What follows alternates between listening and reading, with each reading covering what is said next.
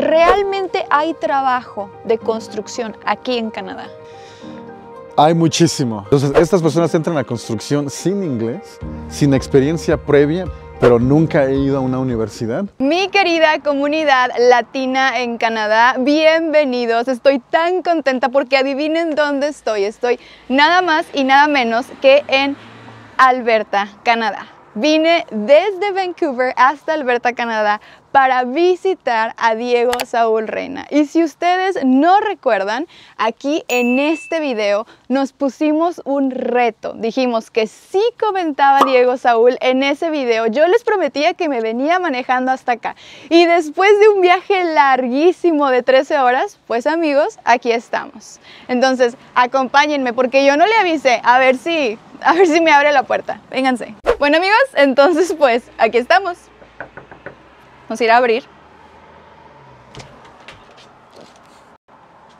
Hola. Te me haces conocida. Claro que sí, somos la comunidad latina en Canadá, Saúl. Tenemos muchas preguntas que hacerte. No te avisamos que íbamos a venir para acá, pero pues... Perfecto, porque tengo un trabajo grande en la construcción ahorita y necesito varios ayudantes dispuestos a echarle todas las ganas. Excelente, para eso estamos. Entonces, si quieren saber todo sobre la construcción, ¿habrá o no habrá trabajo en Canadá? ¿Qué se necesita? Miren, aquí estamos con la persona experta, la persona indicada, así que... El albañil supremo. Así que si quieren saber todo, les pido que se queden a ver este video. Yo soy su amiga Paloma Lascano, una latina en Canadá. Bueno, entonces el día de hoy me gustaría preguntarle, amigos, a Saúl, pues realmente trabajando en construcción aquí en Canadá, ¿se puede vivir bien? Pues mira, si no se pudiera, simplemente yo ya me hubiese ido a otra industria. Oportunidades tengo. Mi, mi suegro me dijo, te pago la carrera que quieras el día que me casé con su hija y vente a vivir con nosotros a nuestra casa tan grande y estudias lo que quieras. Y yo le dije, voy a probar mi empresa de construcción y si no me funciona, le tomo la palabra. Y eso fue hace 10 años y continúo en la construcción. También afortunadamente tengo una plataforma de YouTube y Facebook, la cual es elegible para monetización. Y también podría dedicarme a eso, pero tampoco he tenido la necesidad porque me va muy bien en construcción. Y no soy el único. Por ejemplo, esta casa de aquí, este señor se dedica a construir cines. Las salas de cines él la construye. Este de acá también tiene una empresa de construcción este es uno de los dueños de una, bueno, uno de los, sí, uno de los directores de una empresa de construcción que se llama Brookfield, que es de las más grandes aquí en Alberta. Este señor de acá tiene tiendas de materiales. Aquí tienes que ver la clave. Ellos no son empleados, no están trabajando por hora. Son los dueños de la compañía. Tú puedes llegar a un sitio de la construcción a, a barrer y si le echas ganas en 15 años, ya eres uno de, uno de los que viven aquí. Porque estas son, pues comparado a lo que yo conozco de las casas en México, pues parecen mansiones, Saúl. Pero, ¿qué nos puedes decir? ¿Serán mansiones o no? Este no es un barrio de profesionistas, es un barrio de trabajadores. Yo he conocido a todos los vecinos y todos son dueños de empresas de algún oficio.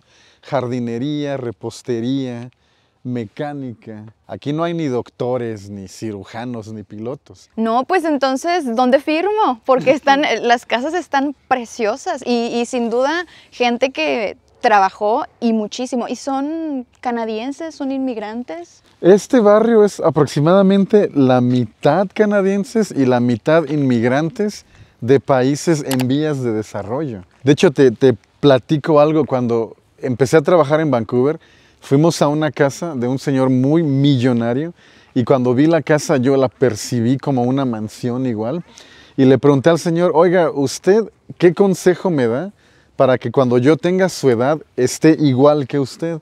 Y él me dijo, lo mismo que estás haciendo exactamente ahorita. O sea, cuando yo tenía tu edad estaba haciendo lo mismo que tú estás haciendo, que es, era ayudante de construcción.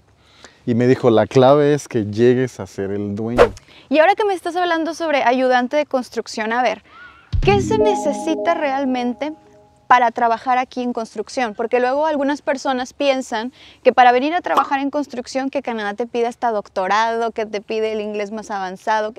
¿Qué es lo que realmente tú necesitas para venir de ayudante de construcción a Canadá? Mira, en la empresa de migración ahorita todas las personas que hemos visto que entran a construcción no tienen inglés, y, pero tienen un permiso de trabajo abierto, que es gracias a que su cónyuge vino a estudiar. Entonces, estas personas entran a construcción sin inglés, sin experiencia previa, pero tienen un denominador común, que es tienen muchas ganas de empezar. La construcción te permite empezar con un salario competitivo sin que tengas mucha inversión en términos de herramienta o educación. Con 20 dólares te vas al Home Depot, te compras una cinta métrica y un lápiz. Y con eso puedes ser ayudante de carpintero. O te puedes comprar una cuchilla de cortar y una cinta métrica con 20 dólares y ya puedes ser ayudante de tabla roquero. O sea, empieza el que quiere. Empieza el que quiere. Tiene las ganas. Yo recuerdo cuando me cambié de tabla roca a estructuras de metal, me asignaron a un mentor que se llamaba Mitch. Al año que yo fundé mi compañía, Mitch era mi empleado. Pero él era una de las personas que si no había material se sentaba. Y yo me ponía a ver el plano, a ver qué está mal, a tratar de reciclar, tratar de usar los pedazos cortados, algo. Y cuando la el ingeniero venía a enseñar las, las- los planos, él se iba a tomar café, lo que fuera. y Yo me ponía A ver, a escuchar. No necesitas meterte a la universidad de construcción. Se aprende de forma empírica. Claro, Aprendes escuchando, viendo y haciéndolo también entonces. Claro, yo, yo no tengo ninguna educación superior. Tengo cursos que son necesarios para seguridad y para acreditación, pero nunca he ido a una universidad. Y aquí en Canadá tengo la misma calidad de vida que todos mis amigos que tienen maestría y doctorado. Entonces no, no me he quedado atrás.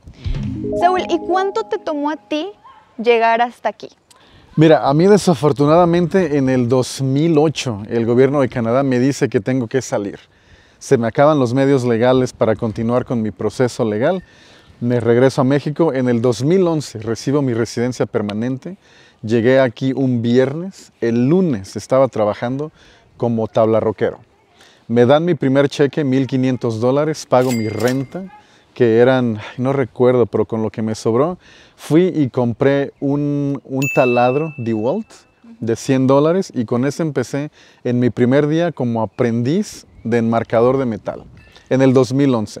12 meses después, exactamente al siguiente año, me asocio con una persona que él era mi jefe y me dijo, ¿sabes qué?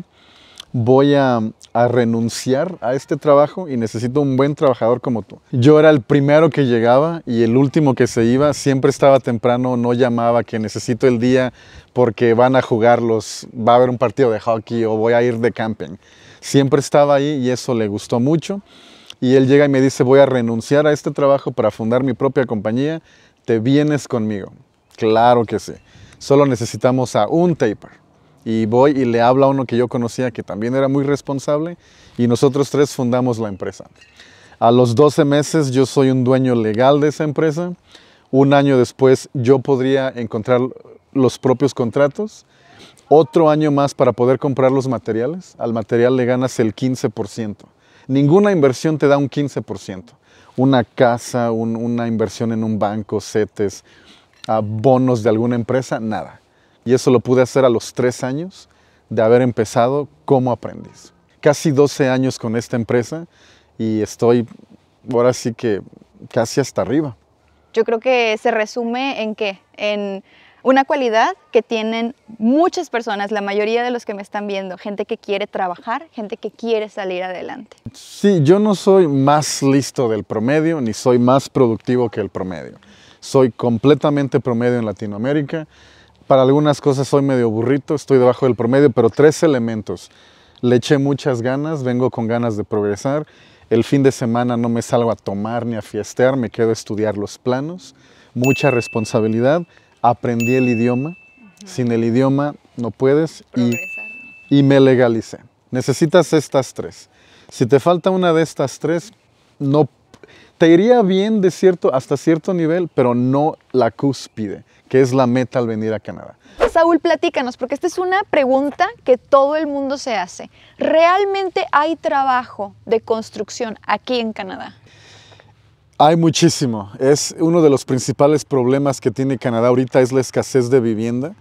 En los 20 minutos que nos llevamos manejando hacia acá, ¿cuántas casas en construcción viste? Muchísimas. Ustedes no tienen una idea, en todos lados están construyendo casas, están eh, básicamente, y no nada más aquí en Alberta, ¿eh? también allá donde estoy en Vancouver, todo el tiempo hay algo de construcción. De hecho, este todo es, es todo un vecindario en construcción, no solo una casa. Y estos vecindarios hacen distritos, tenemos distritos enteros en construcción y la necesidad de empleos es desde abajo. Estas casas que están en Armazón tienen unos tres meses en construcción. La parte del concreto, la excavación, el desentierro, limpiarlos de maleza, de vegetación, hasta la parte final como esta. Antes de darle la llave al cliente, viene un equipo de limpieza, ahí se necesita empleo. Esa es madera artificial prefabricada. Esas fábricas también necesitan muchas personas. Estos materiales llegaron aquí con camiones. Los, los conductores de esos camiones se necesitan. Esta tierra se va a los viveros donde producen comida también se necesita gente que trabaje en esos viveros y gente que lleve esa tierra a los viveros. Esta compañía de los baños portátiles también necesitan gente que los venga a, darles mantenimiento. Prácticamente cada aspecto que ves en la casa es una industria que tiene una falta de trabajadores. Entonces, de donde yo soy, Saúl, eh, de México, yo sé que de donde son muchas de las personas que me están viendo, las casas no se construyen así, ¿verdad? Entonces, ¿Tú me podrías decir cuáles son las posiciones aquí en construcción que más requieren?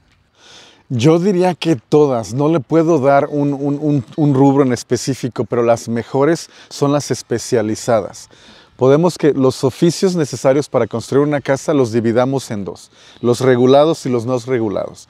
Los que están regulados es que necesitas una certificación para poder ejercerlos. Todo lo que afecte el funcionamiento de la vivienda, soldadura, electricidad, plomería o estructural, se llaman specialized trades.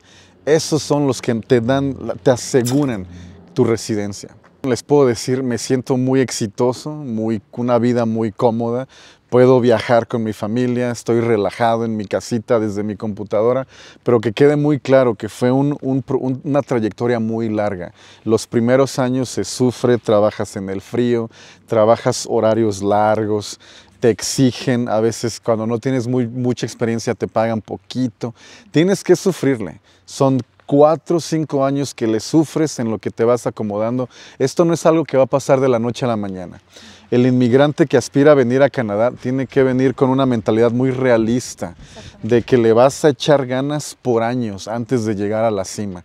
Y lo bueno es que Canadá te da la oportunidad de ese crecimiento, ¿verdad? Sí, exactamente. O sea, Canadá es el país que tiene la mayor movilidad social en el continente americano, de las más altas en el mundo. Movilidad social significa que si empiezas desde abajo, es mucho más probable que llegues hasta arriba. Esto es muy fácil de corroborar. Váyanse a Google y anoten las 10 personas más ricas en Canadá y van a notar que más de la mitad son inmigrantes que vinieron de países en vías de desarrollo. Ahora, hagan lo mismo con Estados Unidos. Anoten los 10 más ricos, el todos son blancos y nacieron en Estados Unidos. Eso ya te da la, idea de, de dónde está más pareja la cosa. Pero esa trayectoria es muy bonita. O sea, tú como inmigrante, tu lucha de venir y empezar y dices, ya me compré mi herramienta, ya me compré mi carrito, ya aprendí a hacer esto, es muy bonito. Yo veo todo desde arriba como dueño de empresa pero los chicos que vienen llegando y se están acomodando, ahorita te mostramos a uno de los chicos para que nos, nos diga, el, que está empezando desde abajo. Ok. Que nos diga qué tal. Para que ellos vean cómo pueden también ir empezando, ¿verdad? La gente que está interesada y que nos está viendo. Bueno, acompáñenos. Y antes de entrar, tu casco personalizado, así como mi jefe me dio a mí uno en mi primer día, ya estás oficialmente en la albañilería. Excelente. Entonces, amigos, vamos a comenzar. Esta es una etapa de la construcción antes de la pintura. Esto es tabla roca. Esto se llama taping, que es prácticamente un lodito que lo cubre y antes de pintarlo, vamos a ver al maestro que nos está haciendo este trabajo. Hola. ¿Cómo están? Uy, qué buen casco trae. Mira quién te lo escribió. el maestro que me enseñó. Entonces, ¿cómo te va como taper? Mira, carnal, por ejemplo, aquí ya empecé a poner el drywall, ahora voy a, estoy haciendo el taping Y de taping por una casa de estas, cuando trabaja uno por horas, le dan 25, pero por una casa completa le vienen dando 4 mil dólares eh, a una persona sin, sin saber inglés, porque yo no sé inglés, y sin estudio válido aquí en Canadá, porque yo no tengo ningún estudio ni siquiera en México. Entonces, sí sale para mantener completamente a mi familia de este trabajo sin inglés. ¿Cuánto tiempo tenías en Canadá cuando empezaste a trabajar de este mismo trabajo? Yo vine a Canadá sin saber ni siquiera nada. Vine a Canadá y empecé a trabajar en este oficio, drywall y taping. Y ahora ya tengo cuatro años en este oficio. Mis, ¿Y ya tenías experiencia de esto antes de venir a Canadá? nada, cero experiencia y aquí empecé a construir, aquí empecé a aprender. ¿Al cuánto tiempo de haber venido a Canadá puedes empezar en estos trabajos? Si llegas un viernes, el sábado ya está, puedes empezar a trabajar en esta clase de oficios. Es más, les propongo algo. ¿Qué tal si tú, Diego, y tú, Paloma, por un día se vienen a trabajar conmigo en construcción? Lo que veo es que no te quiero hacer quedar mal porque yo lo hago mejor que tú. Bueno, vamos a ver, vamos a ver qué tal. Miren, él ya tiene un poco de experiencia, mucha en, en este aspecto, yo poca, y Paloma va a empezar desde cero. A ver si es cierto que se puede sin experiencia. A ver, Vamos a a, ver ver, si si es se puede. cierto. Perfecto, entonces la continuación de este video va a estar en mi canal y van a ver cómo trabajan ellos dos en taping empezando desde cero, maestro y mediano. Muchísimas gracias por estar aquí y nos vemos a la próxima, futuros canadienses. Nos vemos.